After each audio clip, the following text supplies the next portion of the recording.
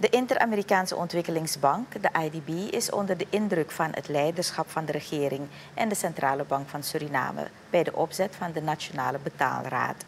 Dit vertelde de vertegenwoordiger van de IDB, Giselle Brown, gisteren tijdens de lancering van de raad in de ballroom van Hotel Torarica. De vertegenwoordiger geeft aan dat de IDB Suriname zal ondersteunen in het verbeteren van haar financiële sector. But the new government that took office in the middle of the crisis decided to look ahead.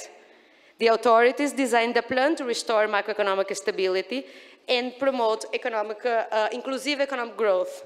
And they have shown a strong commitment to its implementation, despite the several hurdles faced on the way.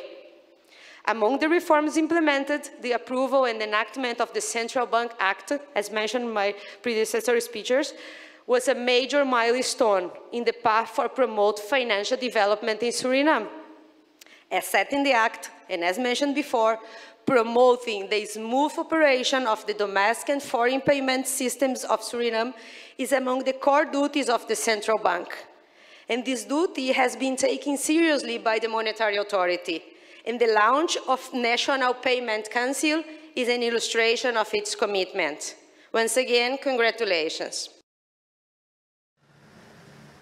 Brown ziet dat de monetaire autoriteit, de centrale bank, haar rol heel serieus heeft genomen bij de opzet van de Nationale Betaalraad Suriname.